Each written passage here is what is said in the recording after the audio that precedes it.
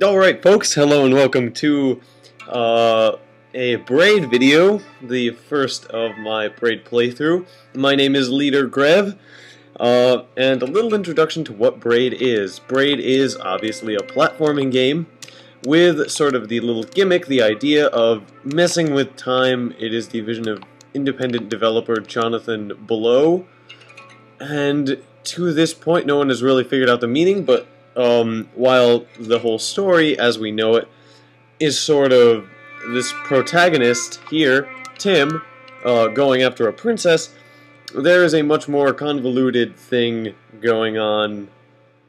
There's a whole big deal going on, and we are about to find out exactly what that is. Alright, you start off in World 2, and that's significant, uh, but we'll get to that later, and it's called Time and Forgiveness. Alright.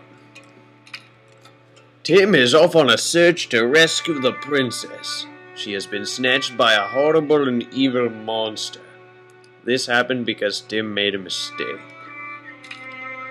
Not just one. He made many mistakes during the time they spent together all those years ago.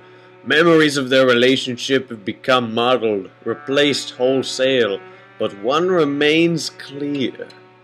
The princess, turning sharply away her braid lashing at him with contempt. Feisty. He knows she tried to be forgiving, but who can just shrug away a guilty lie, a stab in the back? Such a mistake will change a relationship irreversibly. Even if we have learned from the mistake and would never repeat it. The princess's eyes grew narrower. She became more distant. Our world, with its rules of causality, has trained us to be miserly with forgiveness. By forgiving too readily, we can be badly hurt. But if we've learned from a mistake and become better for it, shouldn't we be rewarded for the learning rather than punished for the mistake? What if our world worked differently?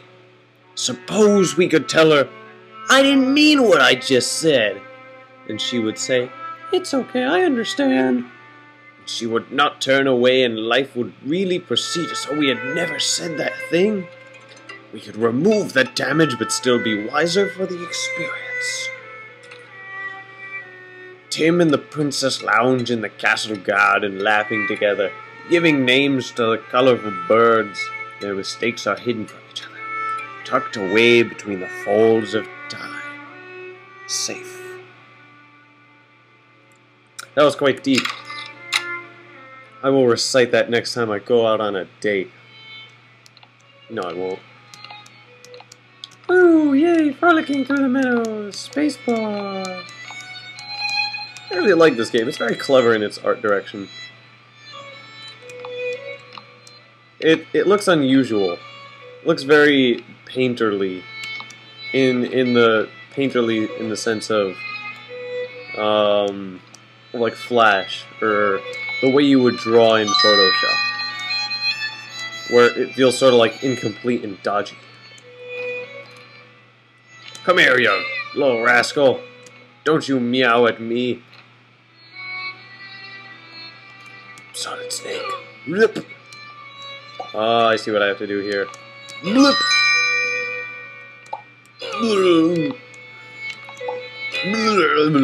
Oh, I have to wait for it. Oh! Damn you, collision errors. Ah, alright, I see. Three! Oh no! Three! Dope! Ah, damn it. Three! Dope! Ah, darn it. It's going to take a while. And that is the game's mechanic. The ability to rewind time. Boing.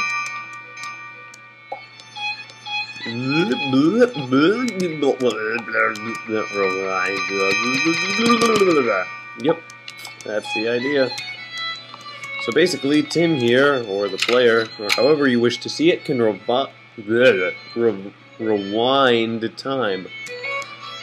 Quite handy if you ask me. Tim's a lucky guy. Alright, ching. Whee! Whoop. Wait. Hey. Wait. Stay. Ooh. Let's take a look. Ooh, puzzles. Usually I don't like this kind of puzzle, but this is quite puzzling. Let's see. That looks just... Yeah, that looks right, because those are flowers. And that looks like... Oh, it's a hand, I think. Ooh. There you go. Oh, wait a minute. That looks just about right. Come here, you rascal. Doink. There you go. Alright, well, I can't really tell what's going on here right now, so we'll leave it at that. Oh no, and I can't get those. There's gotta be a way to get this. I don't know how.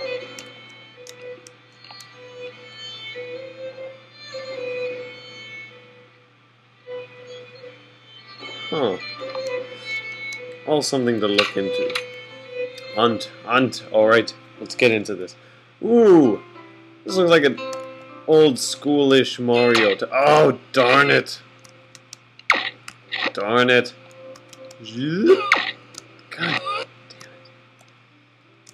See, the idea of the game is that you're supposed to be better for the experience, but you really, I'm really not never works out the way I want it to. I want to avoid this guy, because I can, sort of tell what's going on.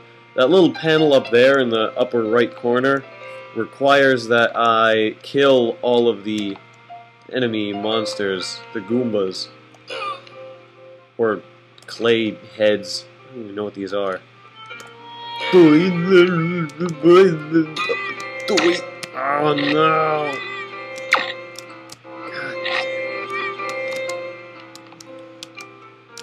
Lip. Oh, that was garbage.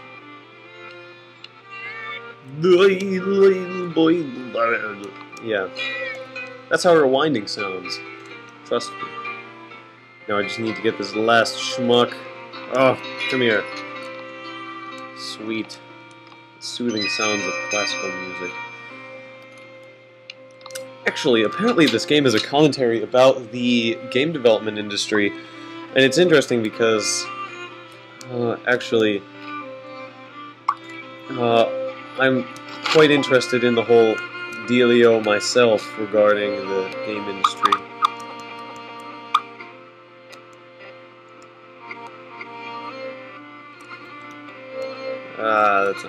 Oh no.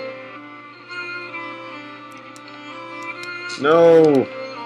Darn you! Make it, make it, make God damn it. I think the idea is to get that little, that monster, or that uh, puzzle piece. I need to get a little Goomba fellow over there. There you go. Perfect. So, uh, there you go, perfect.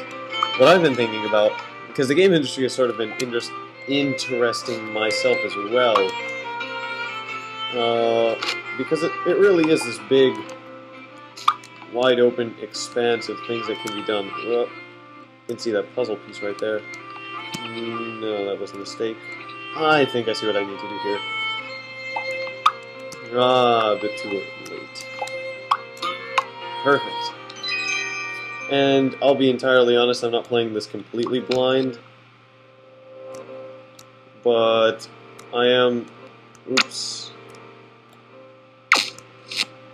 I am familiar with the premise and what goes on in the first several levels.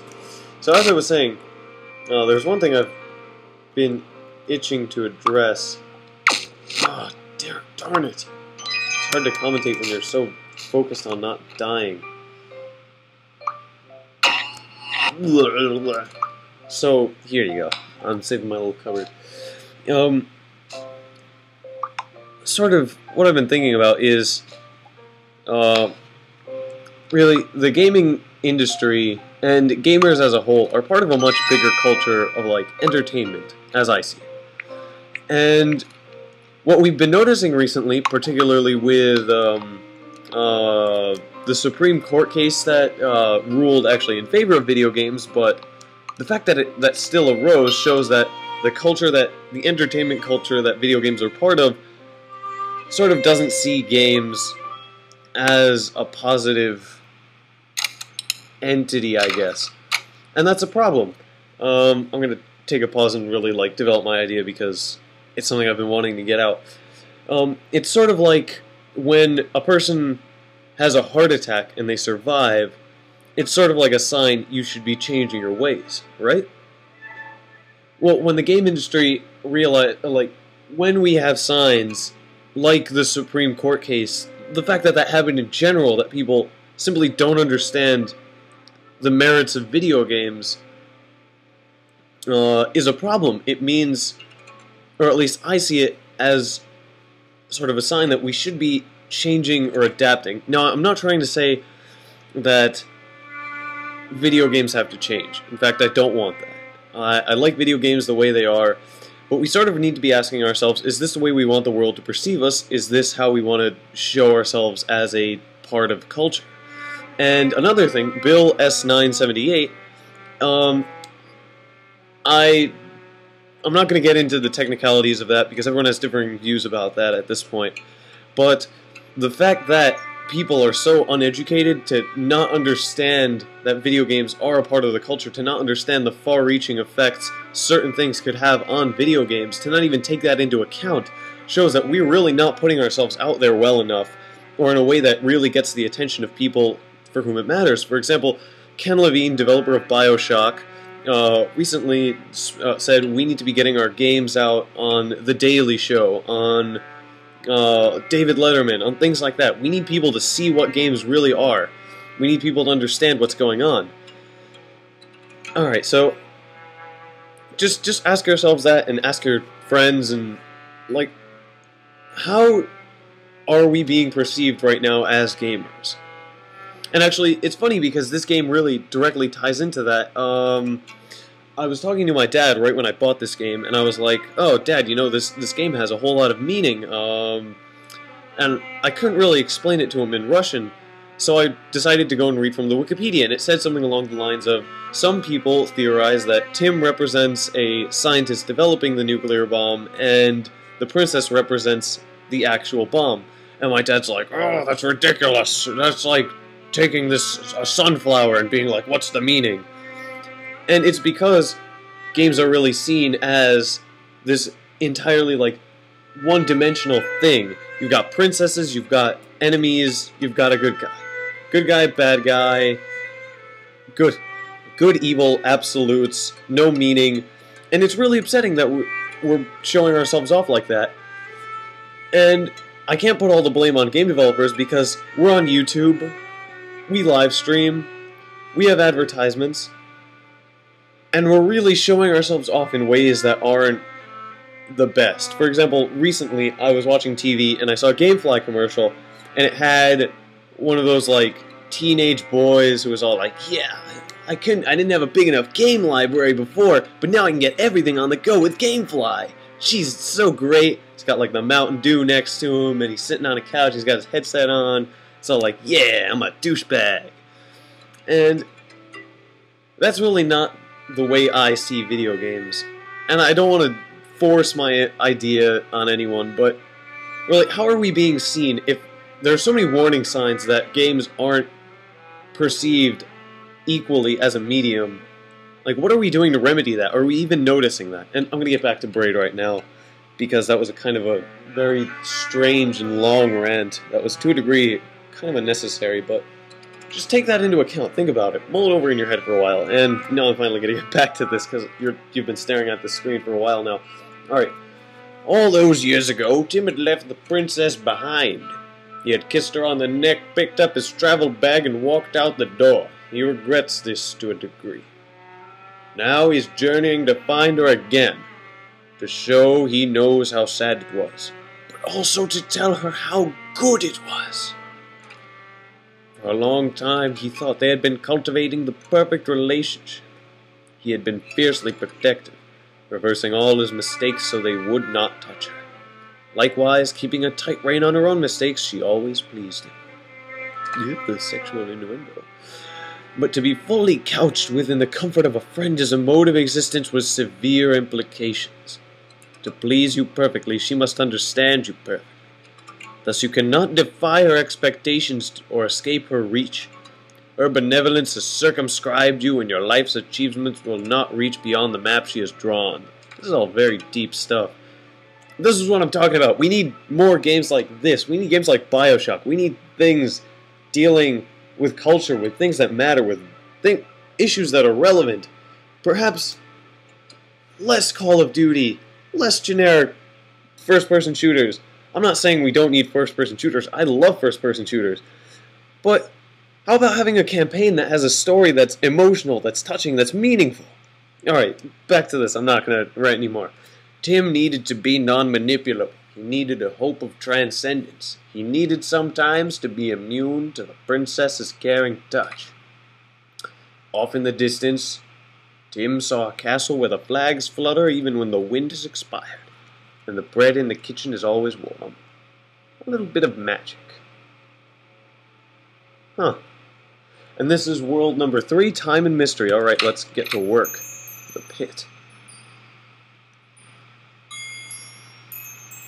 Seems that. Ooh, what is going on here? What is going on here? Oh, I think I know it. It goes. Uh, okay, let's see. Are you serious?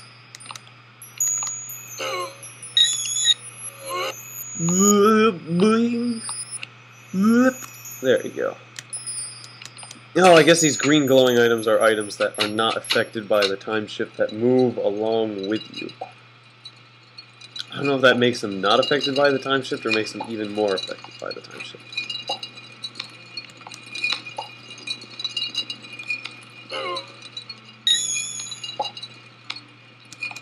Oh, right, here's what I need to do. I need to move.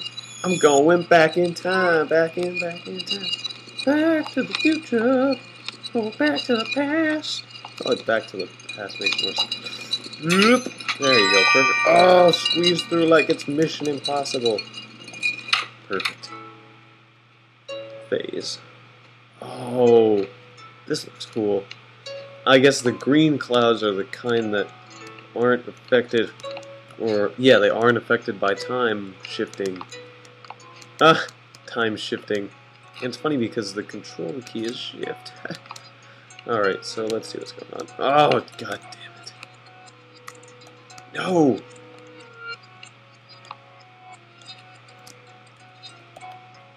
Oh, this is perfect. No! I ruined it! No! Oh, I ruined it! Let's see if I can do this. There, perfect. Don't ruin this. Don't mess this up. Don't. Perfect. Fantastic. Feel like a genius mastermind of geniuses. This is the easy way out? I don't want to take the easy way out. Give me challenge or give me death. Actually, that's an overstatement, but slight exaggeration.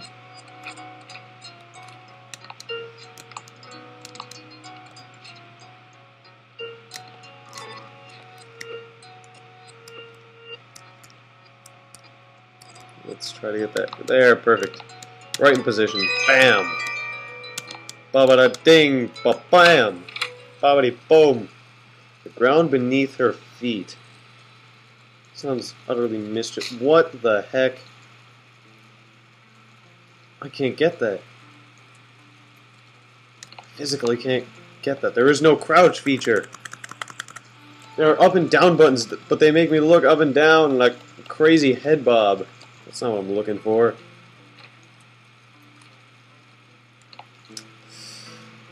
I need something else. Hmm. I am utterly, utterly lost.